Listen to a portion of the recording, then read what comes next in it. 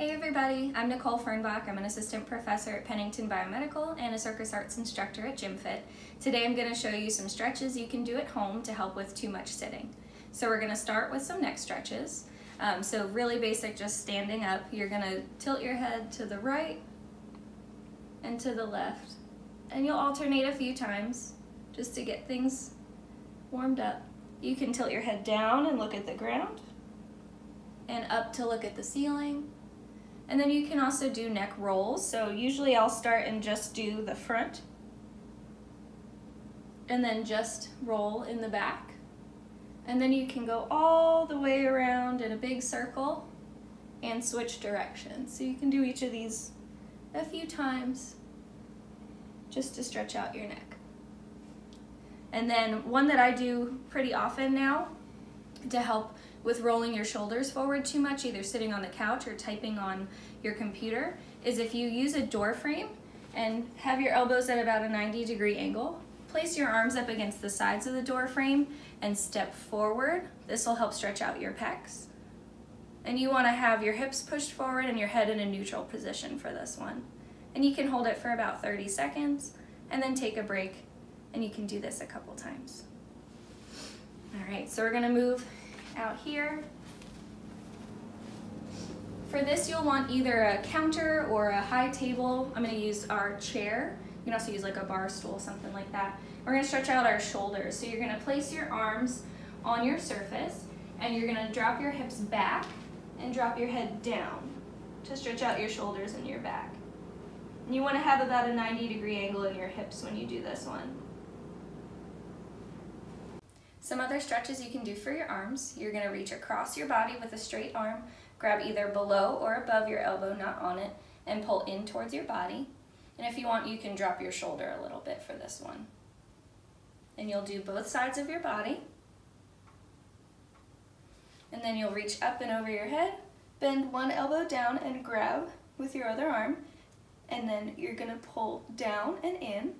And for this, you wanna lift your chin up to make sure you're not pushing your head too far forward. And you can alternate to the other side after you're good with that one. All right, so that's it for arms. We're gonna move to your quads. So you're gonna grab one foot, put your knees together in the front and try to push your hips forward for this one. If you need, you can find a spot on the floor and point to it to help you balance. Make sure you do both sides for this one.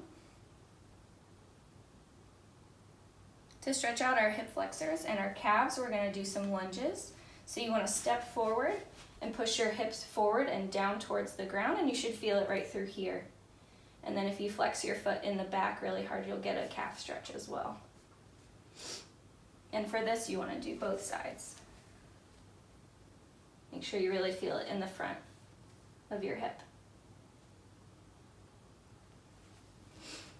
Next, we're gonna stand in a straddle.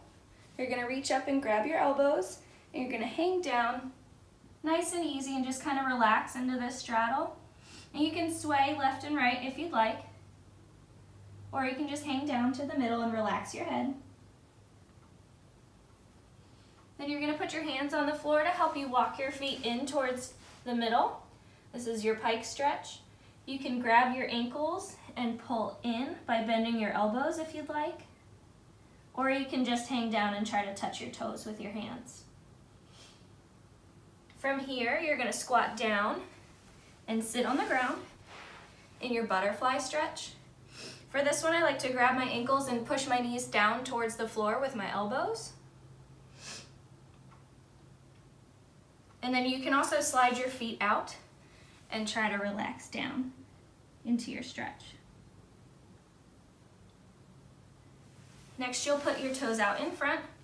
You're gonna keep one leg straight, the other one's gonna bend up, and you're gonna put the outside of your ankle on top of your knee and lift that bottom leg up. And then you'll sit into that leg with your knee turned out.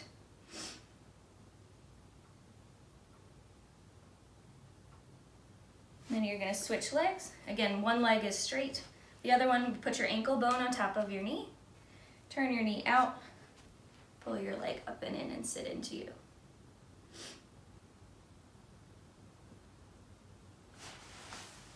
Just a couple more. We're gonna do a seal stretch. So your toes are gonna be behind you and you're gonna push up with your arms with straight elbows. This would stretch out your lower back. Bonus challenge if you could put your heels together in the back and lift your knees up off the floor. And then the last one we'll do is just rock back into child's pose and relax. And that's all for today. See you guys next time.